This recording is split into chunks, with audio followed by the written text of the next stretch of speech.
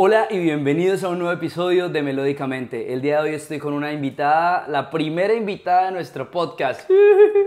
primera mujer representando la línea femenina. Voy a intentar incluir cada vez más mujeres en esto, porque vale la pena. Eh, Pilar, Pili Feed, eh, les voy a dejar las redes sociales de ella acá abajo para que puedan ir a visitarla. La, la tipa es bien bacana, es bien chimba. Ustedes saben que acá solamente traigo gente bien. Bueno, Pili, yo te dije a ti como muy quemarropa. Ah, sí. Presenta a Brownie. El amiguito Brownie. Hola, Brownie. El día de hoy nos está auspiciando una tacita de café. Acá, salud. Eh,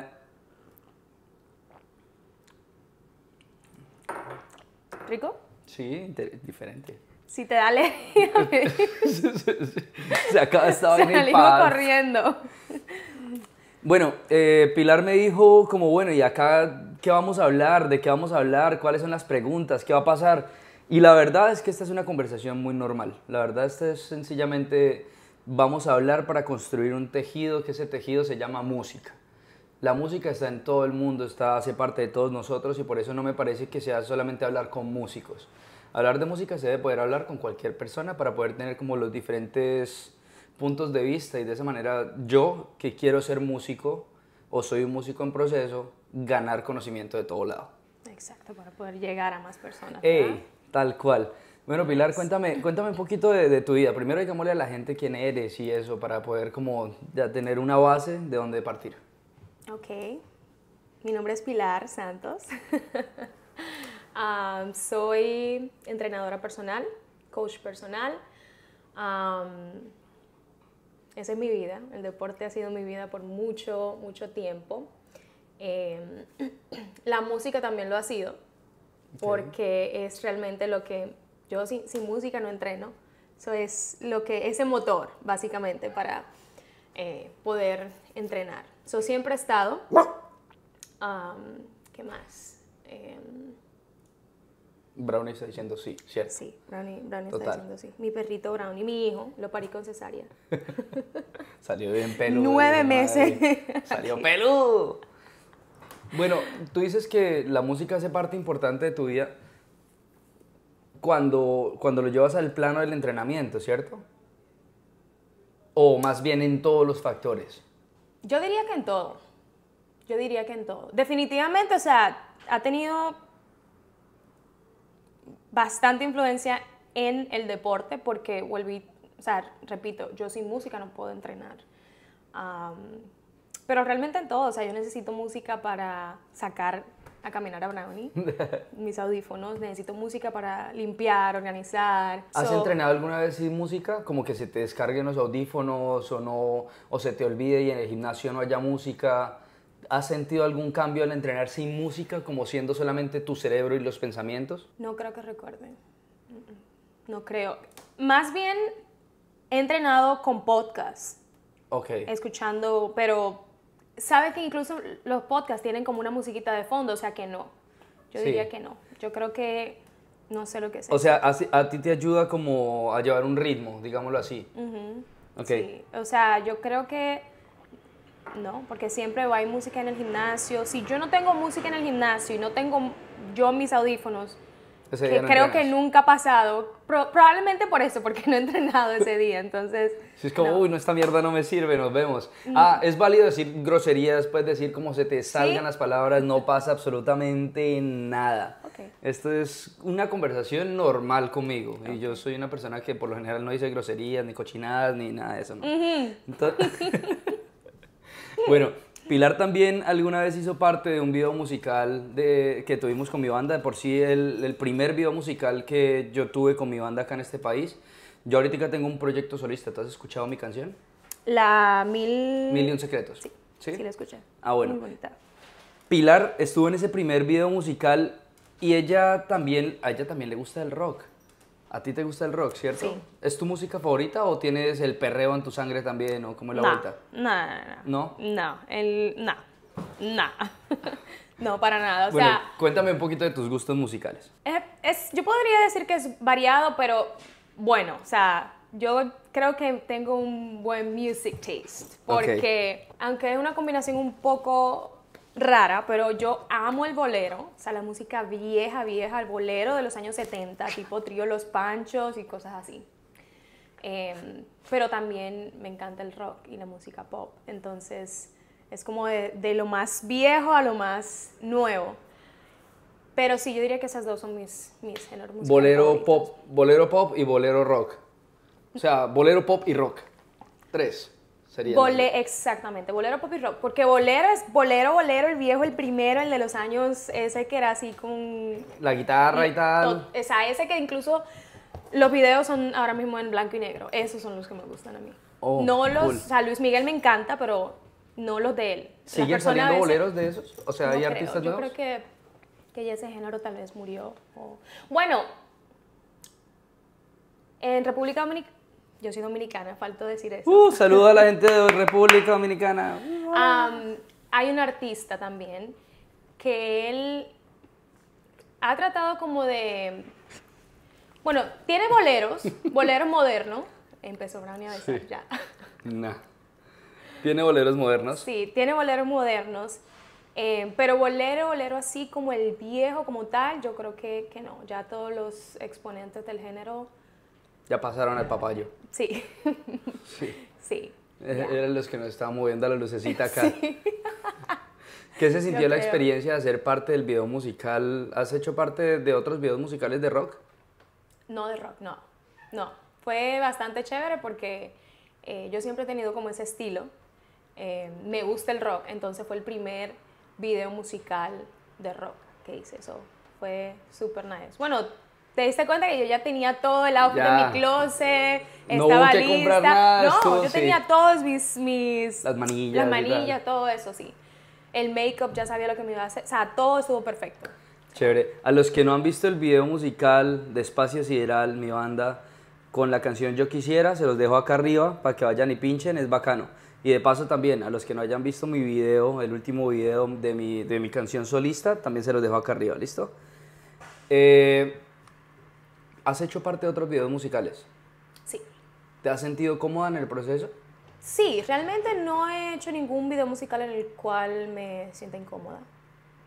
Mm, es lo primero que, que, que trato de asegurarme, de que me sienta cómoda tanto con la persona con quienes, con quienes vaya a grabar y en este caso también con el artista si me toca interactuar en el video. Ah, mi hermana también, que es- ha sido quien me... ¿Te ha guiado por este exacto, camino? me ha guiado por el camino, ha sido como que mi manager, siempre ella ella también es productora de videos y todo eso, entonces ella siempre se asegura, claro, de que tenga la mejor experiencia. A mí me encanta hacer los videos con ella, la verdad que he hecho videos solas también, pero ella es- se fija en todo el detalle, entonces sí, entre ella y yo siempre nos aseguramos que la experiencia sea buena, entonces no me he sentido incómoda, sin embargo, han habido algunos con los que, digamos, no conecto con la música, obviamente, con el estilo, pero igual es trabajo. Cuéntame la experiencia así como más incómoda que hayas pasado en un video musical. Así que te diga, di marica, qué cosa tan belle. O, uy, no, ¿por qué? Es que yo no... Y, y te tocó hacerlo porque era trabajo y tú ya habías aceptado o alguna vaina así. O sea, lo cual quiere decir que ella es actriz, ¿no? O sea, si no se han dado cuenta. Bueno, la primera, sí, la primera, primera experiencia, sin embargo, no me sentí incómoda en el momento porque no me di cuenta, yo estaba enfocada en lo mío, estaba, era en un estudio, entonces era muy artística, estaba totalmente pintada. em, y resulta que en algún momento quien estaba grabando emitió un comentario. Yo no lo escuché porque yo tenía sonidos, pero sí lo escuchó mi hermana y otras personas que estaban ahí y se armó de repente y yo perdí y yo qué qué pasó y mi hermana diciéndole hasta el mal que se iba a morir. y yo, ¿y qué pasó? Ok, nada, y a lo, po- a lo poco con esa tensión ya se terminó de grabar y... y Igual ya estaban de pronto avanzados, a punto de Sí, terminar sí, sí. algo. No, sí. Y tomó bastante, o sea, tomó, eso sí tomó, porque yo tenía que estar para poder pi- pintarme, tenía que estar así.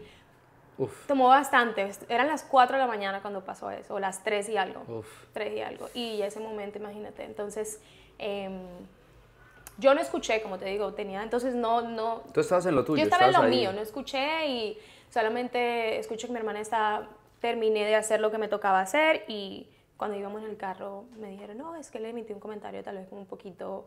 eh, Subido de tono exacto. Entonces, creo que esa ha sido la única experiencia. Yo creo que se presta mucho en la industria del entretenimiento, sobre todo cuando los videógrafos o los directores no son profesionales, confundir los límites, ¿no? Y yo pienso que también, bueno, eh, nada, digamos, una persona que, que emita un comentario de esto, que, digamos, pase ciertos límites, eh, no... La culpa no jamás es de la mujer. O sea, yo pienso que, que puede, puede estar la mujer desnuda, lo que sea, pero la culpa no es de, no es de ella. Hay No, que claro. respetar, pase lo que pase. Sin embargo, a nosotras nos toca también ya, digamos que en este caso, evitar. Yo, ¿cómo evito? Yo soy lo más serio. Cuando, digamos, hay un... Me toca hablar de lo que vamos a hacer en el video. Yo, yo trato de ser lo más seria y lo más profesional posible. No darle ni, ni... Que no vayan a pensar, o sea, que no haya ninguna cabida en pensar absolutamente nada, ni sonrisita, ni nada. O sea, yo actúo, si en la cámara hago lo que tengo que hacer, pero detrás de cámara yo soy, es como... Bacano. O sea, eso es, eso es. De pronto, ahorita que tú lo dices, me pongo a recordar cuando hicimos el casting para, para encontrar a la modelo. Y, eso fue una de, de- eso fue una de las cosas que a mí me dijo como, esta nena es con la que quiero trabajar. Primero el perfil era el que yo estaba buscando. ¿no? Pelirroja, Digamos, en sí, ese estaba tiempo. pelirroja, estaba, pero parecía mejor así. Eh, y tú te veías súper rock. El parado era muy rock, eh, que el parado para mí es importantísimo. La expresión corporal es algo que no se puede, o sea, tú puedes mentir fácil con la cara, con el cuerpo es más difícil. Entonces, tú ya tenías el parado y eso fue lo que yo vi. Yo, nada, marica, yo, yo, yo necesito a esta vieja.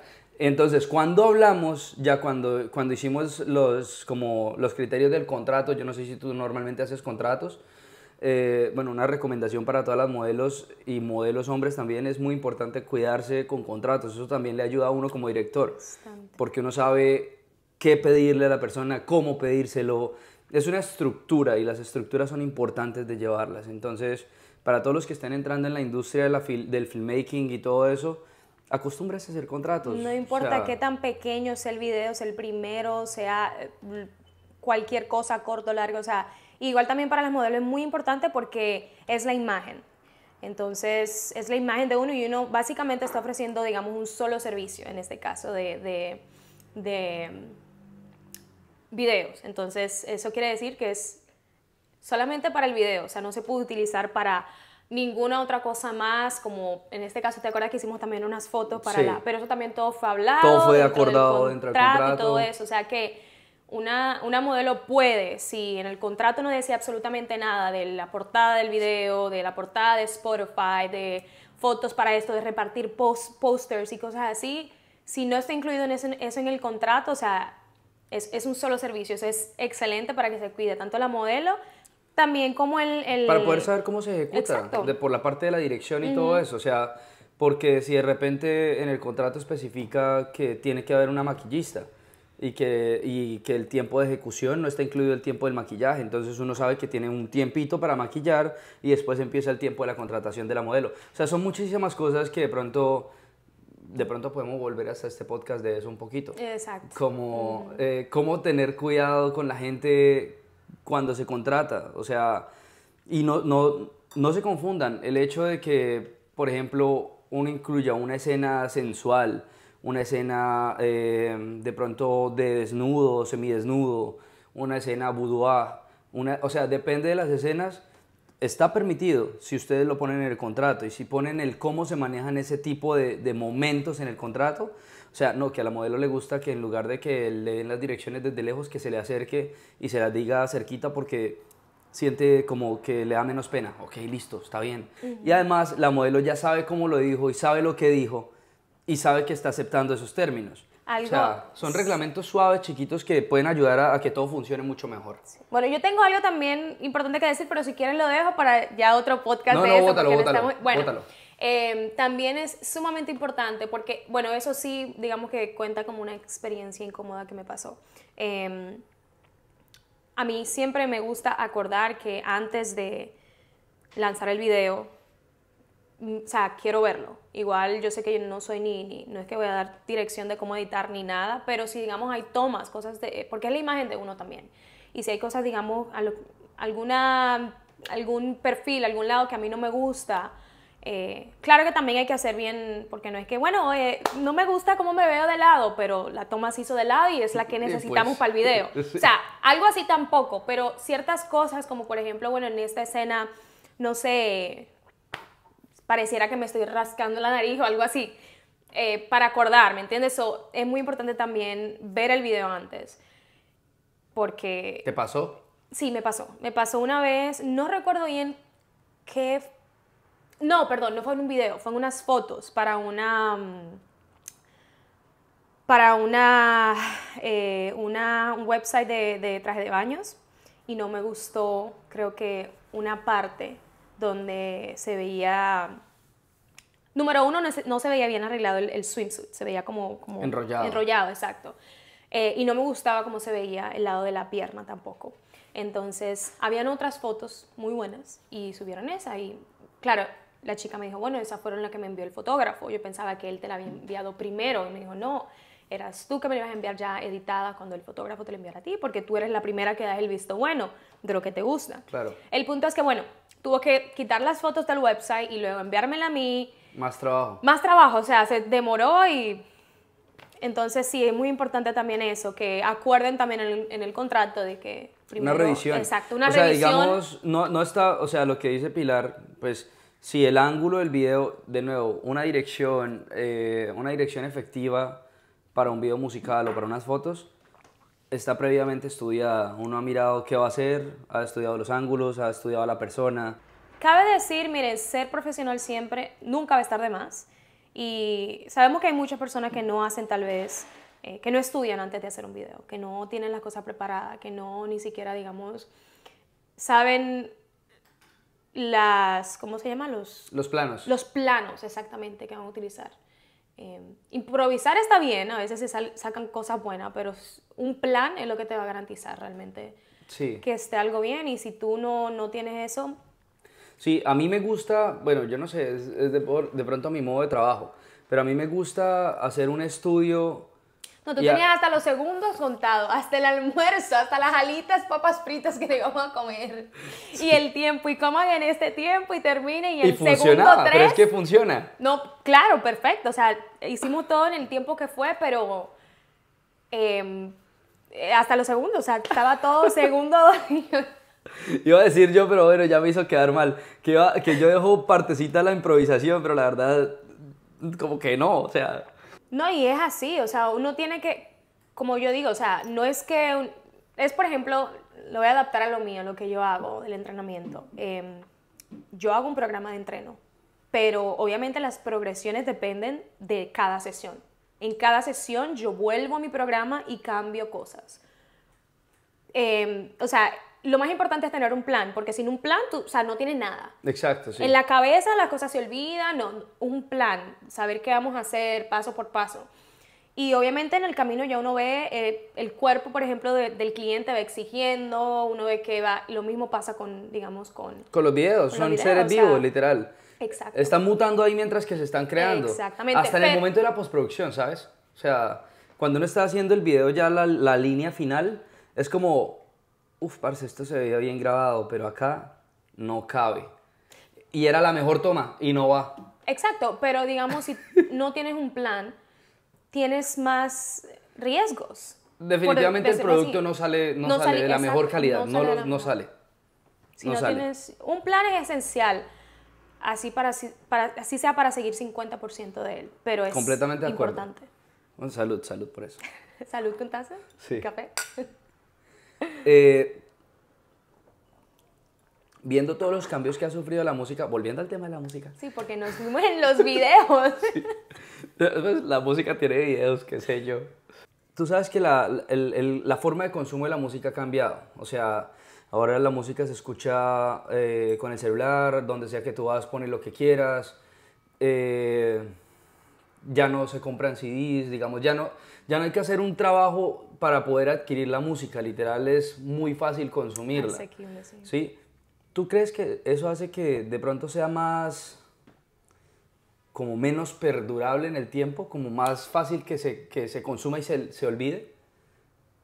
¿Cuál es tu percepción de la música en este momento, más bien? ¿Tú crees que es muy, muy pasajera? ¿O más bien da más oportunidad a que la gente la escuche y por eso pueden haber nuevos artistas? O sea, ¿cuál es tu percepción de la música ahorita? Porque tú no eres una artista musical, pero sí consumes música. Bueno, em, yo pienso que es algo muy bueno para las personas que... ¿Cómo digo esto? ¿Cómo te salga? ¿Cómo para te las salga? personas eh, que no tienen tanto don para hacer música.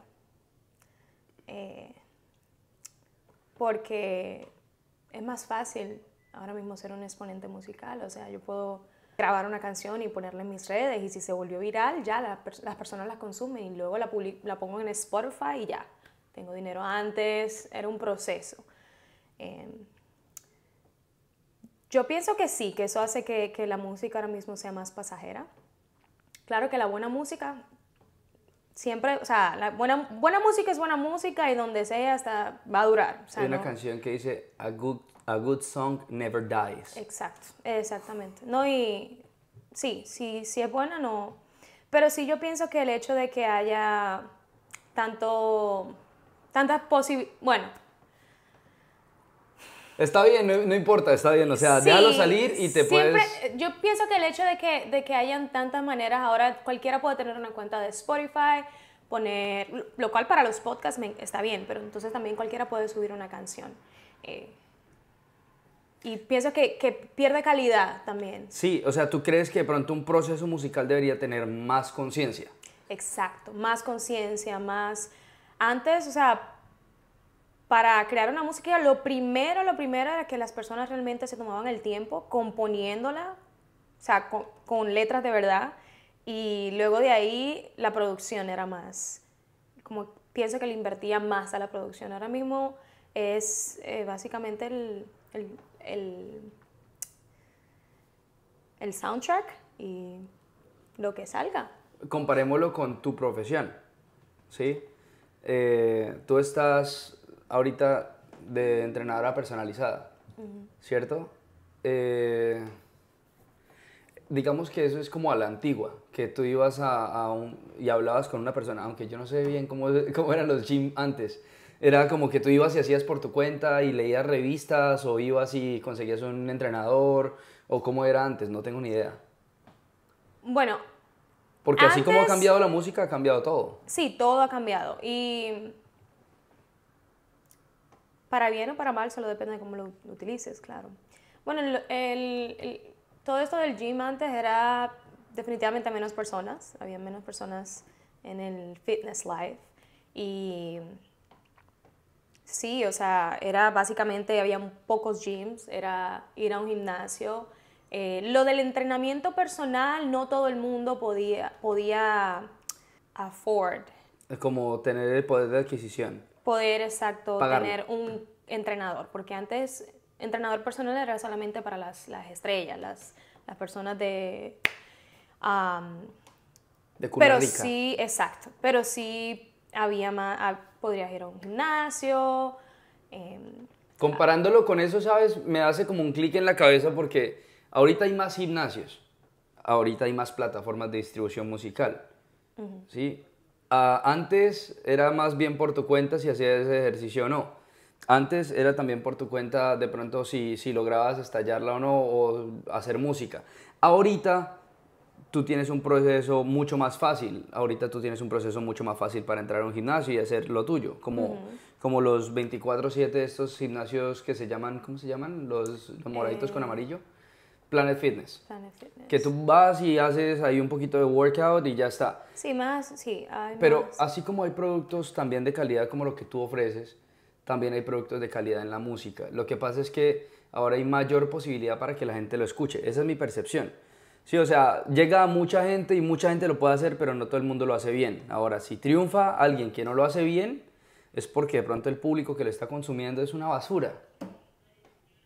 Yo pienso que es, que es, eh, es, es, es una mezcla de ambas cosas. Tanto el público como el artista, porque si te fijas, si cada vez hay más exponentes que solamente eh, lanzan basuras, van a haber más personas consumiendo basura, va a influenciar, porque es que hay algo que la persona no entiende y es que la música influencia tanto a las personas, a las nuevas generaciones, a la sociedad. Y muchas personas piensan que no, música nada más para divertirme, para esto, para aquello, no. Influencia muchísimo el tipo de música que escuches, las letras. Hablemos un poquito de eso. ¿Cómo, cómo así que influencia a la sociedad? Yo, o sea, en, mi opinión, no, no, estoy hablando aquí de, un estudio científico, que nada, no, es mi, Según la psicología de... no, no, no, no estoy hablando de nada de eso. Mi opinión es que sí, influencia bastante a la sociedad, por eso es que ahora mismo la gente ya no se sorprende con nada que escuche en la música. Y yo no considero que eso esté bien. Yo tampoco creo que eso esté Porque bien. hay, hay límites. O sea, independientemente que, que hay ciertas letras o partes donde las muten en, en, los, en, las, en, las, emisoras, que a veces uno escucha una música que nada más está... porque todo lo que dice es, grosería. Grosería, entonces a veces yo digo, ¿para qué la ponen en la emisora si nada más es un beep lo que uno va a escuchar? Esta hija moviendo el...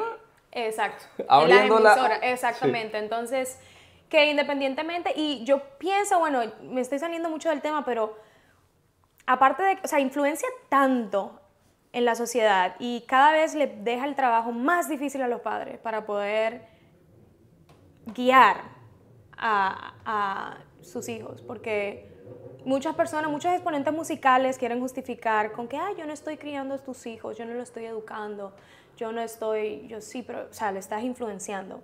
Estás influenciando una sociedad y le estás dejando el trabajo muchísimo más difícil a los padres. De por sí está sumamente difícil sí. a los padres porque ahora le estás dando más trabajo de tener que ponerles un, o sea, bloquearle todo en, en, en sus dispositivos o no dejarlo que tenga ningún dispositivo que aún así las probabilidades de que lo escuchen es mucha. Es mucha, porque tienen un amiguito donde los padres no, son, no están totalmente envueltos en su educación y ya lo van a escuchar de, o, lo van a ver del amiguito. Sí, o sea, definitivamente lo que tú dices es, es coincido, porque para mí, o sea, y, y, lo peor de la sociedad, digamos, lo peor desde mi punto de vista, es que uno no ve el resultado de la, de, de, de la ahorita, sino hasta por allá en 15 años. Exacto. Entonces, toda esta gente que está creando y que se está creciendo con esta cultura de música basura, porque para mí es música basura la música que sencillamente está hecha por hacerse, no, no, no pensada y no construida. Yo, yo, soy una persona que tiene un proceso muy consciente en todas las letras que compone y, que trato de dejar más de una enseñanza. O sea, literal, todas las canciones que yo he escrito son para dejar algo y tienen un mensaje detrás claro y muy definido.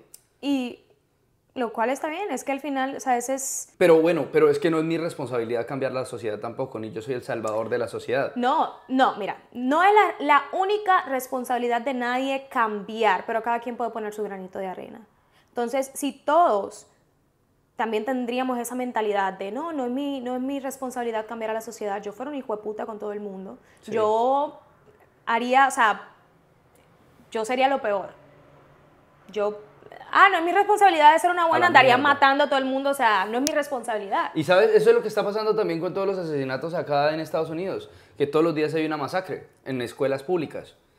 Precisamente porque esta modita de no es mi responsabilidad, yo hago lo que me, mejor dicho, Sí, es, o sea, eso es lo que pasa. Y ¿no? sobre todo que Nosotros no como- queremos quitar demasiada responsabilidad y no.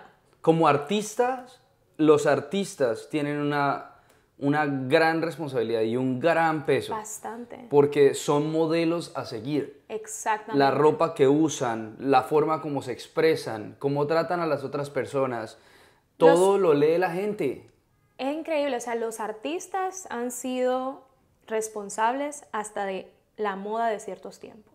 Si nos vamos a los tiempos de Selena, todo el mundo andaba con los topsitos, todo el mundo, o sea, es increíble. Entonces me van a decir estos artistas que, ah, yo no estoy educando, yo no estoy criando a tus hijos, yo no estoy educando a tus hijos. No, pero estás influenciando de una manera muy mala. O sea, si tú vienes que si tú vienes a este mundo, trata de influenciar de la mejor manera posible, trata de hacer lo mejor, o sea, es que la verdad que yo no entiendo, eso no es una excusa. Para mí eso no es una excusa, porque yo creo que es responsabilidad de todos influenciar de una manera a la nueva generación. A la nueva generación. Así sea lo más mínimo que uno haga. Yo no, claro, no soy responsable de, responsable de todos los niños del mundo, pero, o sea, yo puedo influenciar de una, de una manera positiva o mejor. Y es tan chistoso, entonces, estos, bueno, no quiero entrar a mencionar. No, dile, dile, dile, ah, no pasa nada. Artistas que he visto que dicen, no, sí, yo no soy responsable, pero luego tienen hijos y no le dejan escuchar su propia música. Oye, eso es una gorrea, ¿cómo así de verdad? Sí, hay un artista por ahí que, que sí. Mamá huevazo. Esto, amiguito, sí. Sí, esto, tienes toda la razón, digamos, yo soy una persona que, sabes, iba, iba a decir algo, pero como que no va al caso, más bien quiero cambiar la línea de conversación y volverla un poquito, tú eres una persona que le gusta el rock. Tú encuentras en el rock esos valores que de pronto la gente creería que no están. O sea, me refiero, me acuerdo yo cuando era niño la gente decía el rock es música del diablo, es, eso solamente los satánicos lo escuchan, que yo no sé qué. Y yo ahorita me doy cuenta que es una música con muchísimos valores. O sea, para mí, ahora, ¿tú cómo lo encuentras? Mira, hay, hay rock que tienen obviamente letras pesadas obviamente. Y vas a encontrar todo tipo de rock. Los supuestos rock satánicos que hablan de... porque también es, es, es, lo que la gente, la percepción que la gente... Y supongo que también los, los exponentes Pero por una bandita, por una bandita paga todo, todo, el, todo el grupo. exactamente, pero hay muchísimo, hay rock buenísimo, con letras de verdad, con, con incluso que hablan bastante del amor propio que hablan de... y precisamente esas son las mayorías que yo escucho y que me hacen como que... Empoderarte. Sí, empoderarme y yo entrenar duro y eso. Entonces, pero obviamente en cada, en todos los géneros hay canciones malas, o no malas, pero no tan buenas. Pero volvemos a lo mismo, entonces de pronto no es ni siquiera el género, sino es el estado actual de la sociedad lo que lleva a los artistas actuales a crear la música que está haciendo el daño a, las futuras generaciones. Porque no es ni siquiera el reggaetón, sino estamos hablando de, todo, de todos los grupos culturales, musicales que están cagándose. Exactamente. Y no es ni siquiera el reggaetón como tal, no es ni siquiera el ritmo, porque si no vamos al ritmo, es chulo, es nice, es, te, te, pone alegre, te, o sea, en una música, en una música, en una fiesta, eh, no, no, yo, o sea, nice, el, el ritmo súper nice. O sea, no, yo no lo, lo, hace uno mover. Exacto, lo hace uno mover. Yo me refiero más que todo a la letra. Sí, no es, no, es, no es al género como tal, es a la letra, lo que dice. La bachata es un, género que obviamente a mí también me gusta, porque me parece también muy romántica. Em, la verdad no me llega a la mente ninguno que, que como que denigre a la mujer, que no, no hablo, no hablo, no hablo de solo la mujer. O que hable como que muy sea muy, muy sexual o algo así. Sí, y, mira, eso no tiene nada de malo porque la música también es una expresión, o sea, literal me estoy contradiciendo, pero es válido contradecirse porque estamos haciendo un proceso de análisis, ¿no? O sea, yo, ni tú ni yo somos expertos, somos dos personas hablando, intentando explorar el mundo de una manera diferente. Exactamente. Entonces, eh, yo también encuentro que los procesos sexuales o las vivencias también se puedan decir de una manera artística y musical, ¿no? O sea pero no si tu novio no te mama el culo, o sea... Eh, eh, ahí está el punto. es que las personas dicen, no, es que es una forma de expresión. Y si mi forma de expresión es agarrar una, una freaking gun y matar a la gente, entonces, es mi forma de expresión, yo me expreso matando gente, ¿es válido? No.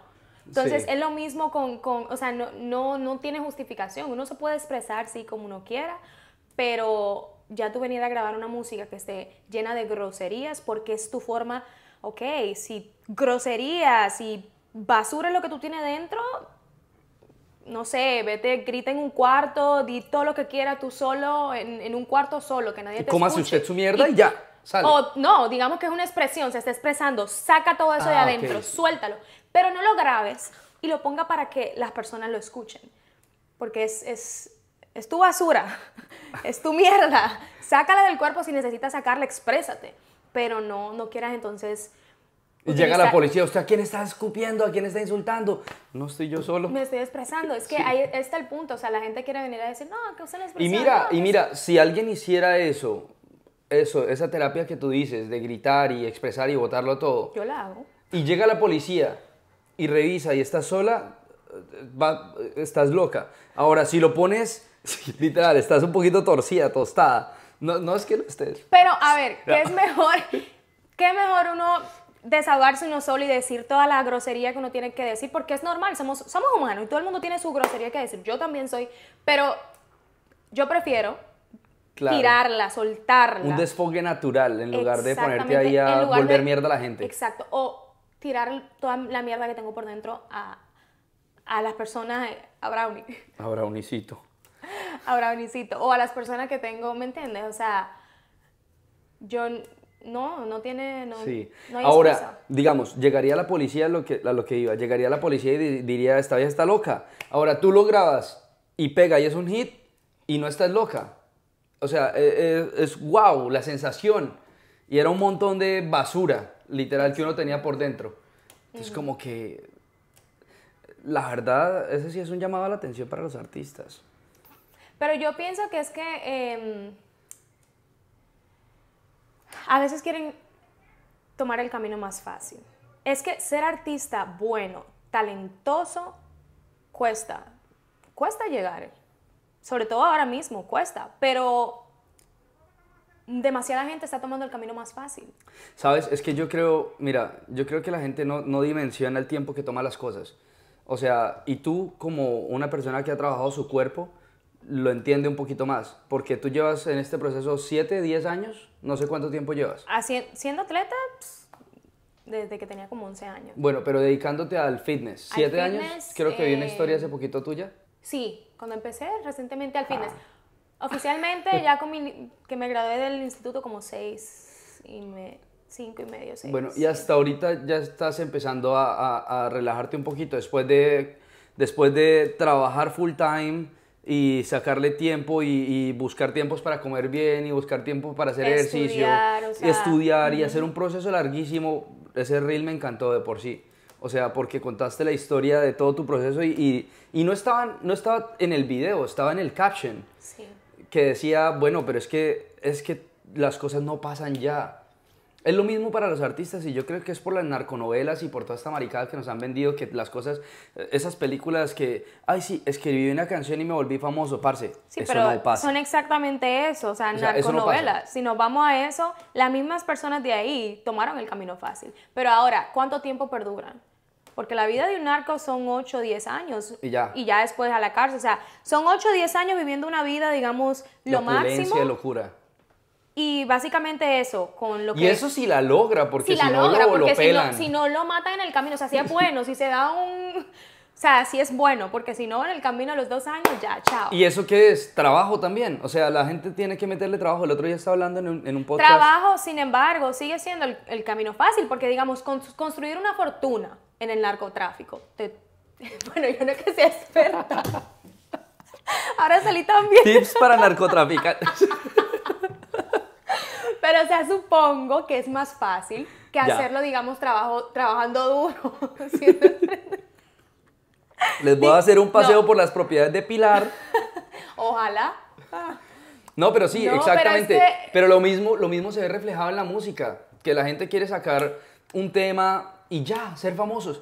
Y, y parce, hay tanto, tanto por detrás, o sea, No, y que, y si, si se fijan, bueno, yo que, que cuando escucho los boleros, la mayoría son por álbumes. Eso de, de- de lanzar, digamos, eh, Singles. singles y eso, es más ahora que es más común, pero antes tiraban muchísimos álbumes. Y que era música por cantidades. claro, y era, y por eso perduraban más, porque le, le dedicaban tiempo a un álbum completo, asegurándose de que de 10 canciones, pongamos, de 10 canciones, 5 por lo menos sean buenas, para garantizar un 50% de éxito por lo menos. Y, pero ahora la gente, canción, canción que no le dedican tiempo, que no la trabajan, que no... Y bueno, yo a pesar de no ser música, hablo de no ser música. Hablo bastante... Creo que conozco sobre el tema porque también tengo familias que hacen música, por ejemplo. Bueno, vamos a, darle promoción. Eh. Mi, mi, cuñado Francis. Francis, eh, saludos. Hola, Francis. Sí, Fran G. Fran G. Oh, Fran G. Ese es su, su, nombre artístico. Tiene un estudio y todo y, y compositor. Es, bueno, es el, es el, compositor de la canción de Fran Reyes de... Eh, creo que se llama Noches de Pasión, la que dice, no me pidas que dejes su amor. Uy. Esa, bueno. Me la mandas y la ponemos acá debajo en, en el caption, para sí, que de pronto la gente y, la vea. O sea, un compositor, o sea, que mis respetos. Y puedo decir que, o sea, por él conozco bastante de, y de la música, porque he estado rodeada de, de personas como él, que... Y sí, por eso hablo con un poquito más de, digamos, no, y está chévere. experiencia. Y es que no importa, yo creo que la música como, como material de consumo, cualquier persona tiene el derecho de hablar con propiedad de ello. Porque si has escuchado y te gusta una canción, con una sola canción que hayas escuchado y te haya gustado o no te haya gustado, con que la hayas escuchado puedes opinar de la música. Porque la música no es de uno, es, de toda la es gente. de toda la, eso es verdad. Uh -huh. Entonces, pues ya, uno sencillamente es un medio para canalizar esas armonías que le llegan y ponerlas afuera. Si el artista, el que hace música, no es nada sin quien la consuma. Sí, total. No, un agradecimiento de verdad a toda la gente que ha decidido compartir en este podcast y que ha decidido poquito a poco escucharlo, darle la oportunidad, de pronto aprender cosas, encontrar cosas que, que no es tan fácil encontrar en otros lados. Yo soy una persona que está buscando y que está explorando su musicalidad para poder llegar y ofrecer un producto que conecte con la gente. Yo quiero que la gente pueda conectar conmigo a través de lo que a mí me gusta hacer. Y sencillamente creo que el medio es también explorar y preguntar. Eh, si les gustaría hablar, eh, que hablara de algún tema o si tienen alguna persona especial que, yo quieran, que quieran que entreviste, me pueden decir y pues puedo tener una conversación. Esto más que una entrevista es una conversación, ya como se pueden dar cuenta. Bueno, continuando. eh, yo creo, ya, ya estamos acercándonos al final, yo creo que ya hemos hablado bastante. Eh, vamos a hacer tres preguntitas, ya que tú has escuchado música desde muy joven y tienes una familia eh, involucrada en la música, capaz que tienes un pasado interesante. Me gustaría saber cuál es la primera canción que marcó tu vida. La memoria tengo eh, estas canciones de, creo que todas, de, de La Pandilla. El gato y el perro. Bueno, ellos juegan así. Eh, creo que um, las canciones de la, la, Pandilla, un grupo musical viejo, o sea, es como lo primero que me llega a la mente porque de niña que me levantaba los fines de semana, mi mamá estaba escuchando esa música, entonces, que, eran, que son músicas que yo escuchaba de niña. Eh, y son como que de, escucho esa música y me traen recuerdos a mí, de mi niñez. Eso me transporta a mi niñez. Yo creo que ¿Te acuerdas de alguna canción en específico? Sí, todavía la escucho y la pongo. ¿Cuál es? Eh, se llama... Canta un pedacito. Yo cantar. ¿Cuándo pasará? De la pandilla y... La soledad. Uy, esa canción. La soledad, esa canción es linda. Sí, brutal. Uf, sí, de la pandilla, sí. Y era un, un grupo musical de jovencitos también en esa época. Entonces, sí, esa y bueno, la primera canción que me haya impactado, yo creo, pienso que ha sido I'm With You con, de Avril Lavigne, porque fue con, durante mi primera depresión, mi, mi primera depre total. ¿Y fue del- amorosa? ¿O cuál Sí, fue el era- detonante? Era una canción amorosa, aunque al principio yo no entendía la canción completa porque era en inglés. Sí. Yo solamente entendía partecitas. Ah, pero la, la. O sea, tiene mucho violín. Y, y eso como que Sí, me. es súper melancólica. Esa canción es bien. Esa canción es bien súper melancólica. Entonces, claro, en un momento de, de depresión, o sea, yo escucho esa canción, de hecho, todavía si no me siento bien, me vas, me vas a ver escuchando esa canción. Y, pero a la vez me hace sentir bien, o sea, eso es lo más, eso es lo, lo, lo más irónico, chistoso de la música, que tú puedes estar escuchando una canción, digamos, triste y... Y estar triste. Y estar triste. Y claro, por el, durante el proceso te sientes triste, pero ya después cuando termina, al, al menos así, a mí me pasa así, ya, me, como que me ayuda a, a No eres- sacar. mira que no eres la primera persona, porque el otro día en otro podcast que hice con Sebastián, en el segundo capítulo, los que lo quieran ver, eh, está acá. Eh, ¿Acá o acá? sí, eso. Eh, Sebastián decía, si yo tengo rabia, pongo una canción que sea de rabia o, o sea muy violenta o muy agresiva o oscura y cuando acaba estoy mucho mejor. Claro, Y ahora tú me dices, si estoy muy triste y pongo una canción triste, esa canción como que me sana en el proceso mientras que suena. Claro, claro, porque es que la... A mí hay una película que me gusta mucho. ¿Has visto esa de la niña... Se me olvidó cómo se llama. De la niña que tiene como las emociones, no sé si está en la cabeza o por ah, dentro. oh, ya, esto emocionalmente se Eh, llama en español. Sí. Y siempre la felicidad tratando de evitar la tristeza, evitar la tristeza. Y realmente todas las emociones son importantes. Son importantes sentirlas para poder sanarlas. Eh, entonces, por ejemplo, la tristeza, yo cuando me siento triste todavía recurro a esa canción. Sí, súper melan- melancólica, cuando escucho los violines puedo hasta llorar y todo, pero ya salió. Claro. Entonces- es un proceso como canalizador, ¿no? La música es para fluirla. Bueno, eh, vamos con la segunda pregunta. La segunda pregunta. Pilar, quiero que nos recomiendes a mí y a toda la gente tres canciones. La primera sería Ojalá, Ojalá, de Beret. ¿Ok? Súper buena. Em,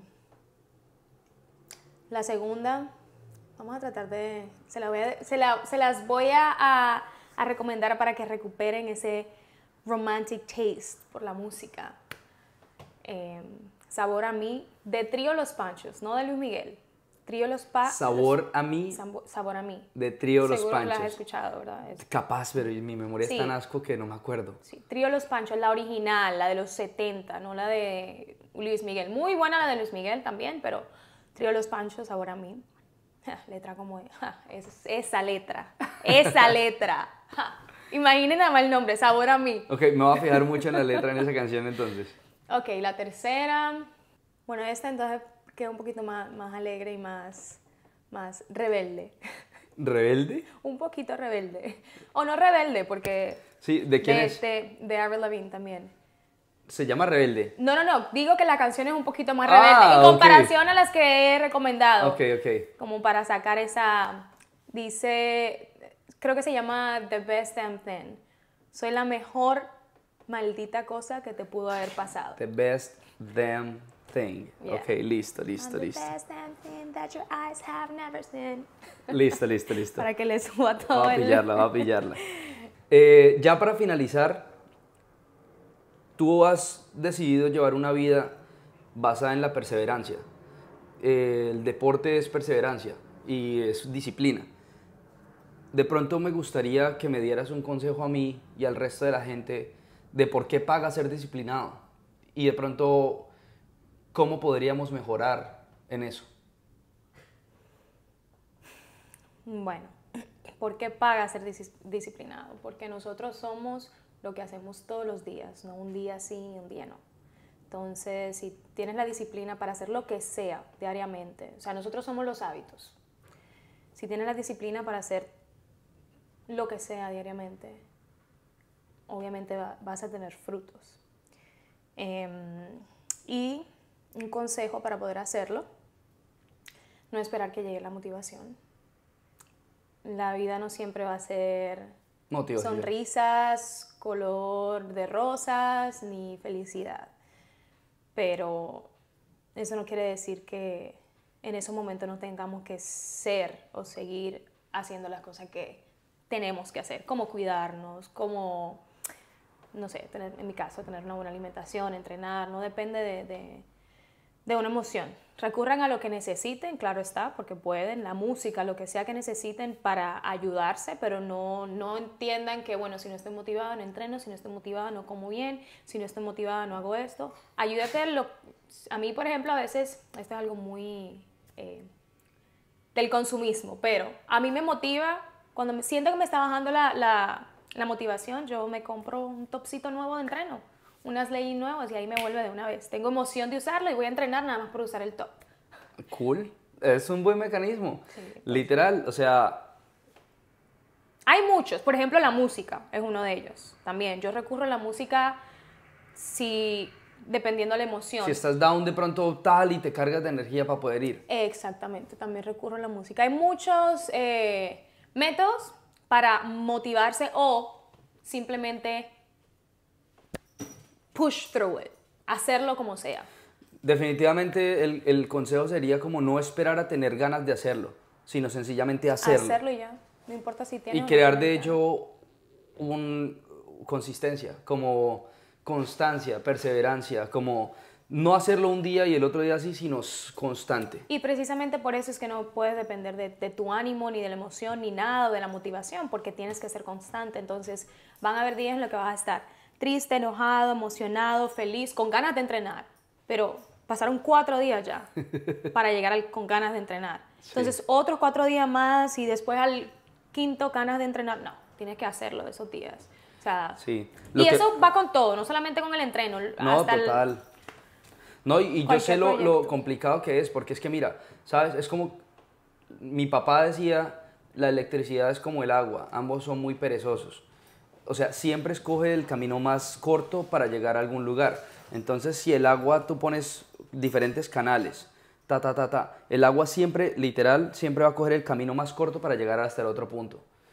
Igualmente en la electricidad. Y nosotros somos agua y electricidad. Entonces, si nosotros no nos movemos, si nosotros estamos eh, acostumbrados a, a algo que ya está ahí estático y tales, la electricidad se conserva más, el agua de nosotros se conserva más, por ende estamos cómodos y no queremos hacer nada. Ahora, crear nuevos hábitos es hacer nuevos canales, es romper fuentes, crear nuevos, nuevos patrones de comportamiento es lo difícil. Ya una vez creados, ese va a ser el camino fácil.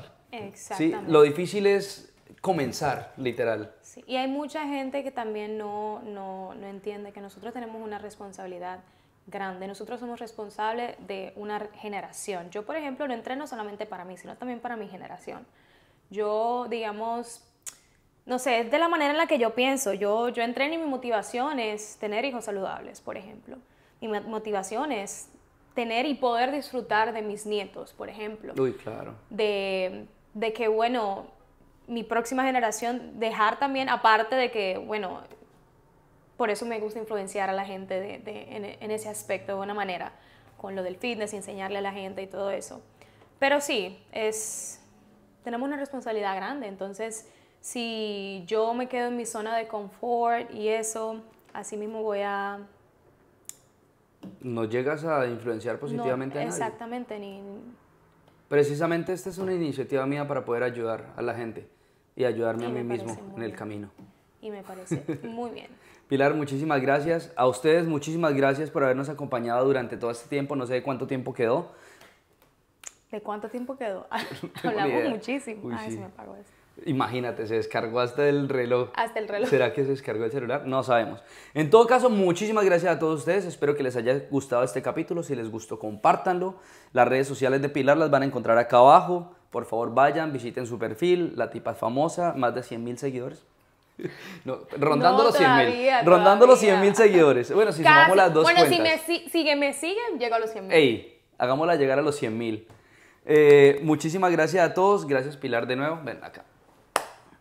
Larga vida al rock y vamos a seguir aprendiendo porque así es como más fácil podemos llegar más lejos. Melódicamente está acá para eso. Muchísimas gracias. Un besito. Brownie, say bye bye. Chao. Muchas gracias, Pilar. Ay.